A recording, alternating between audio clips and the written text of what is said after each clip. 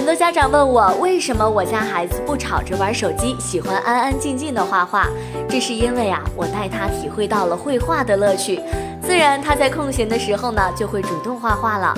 你没有让孩子见识过更好、更广阔的世界，怎么能怪他目光短浅呢？学习绘画不是说非要让孩子走上专业的道路，学习绘画不仅可以培养孩子的艺术审美，增加技能，对孩子的专注力也是很好的锻炼。推荐你画啦啦少儿创意美术课，专为五到十二岁孩子量身定制的美术课程，各大美院老师小班教学，精心辅导孩子的每一笔。课后啊，还有专属辅导老师一对一点评，孩子在家用手机或电脑就能学，不妨给你家的孩子也试试。左滑视频即可报名。